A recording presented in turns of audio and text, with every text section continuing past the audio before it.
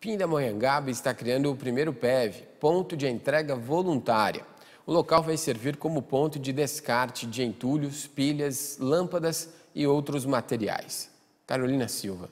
O ponto de entrega voluntária está sendo construído aqui no bairro Liberdade, no distrito de Moreira César.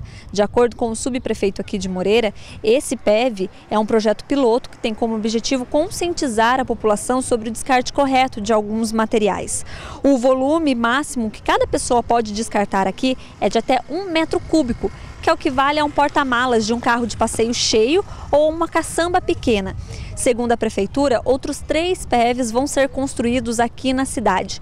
Um no bairro Araretama, o outro no bairro Maria Áurea e o terceiro ainda não tem um local definido. Carolina Silva, de Pindamonhangaba, para o repórter setorial.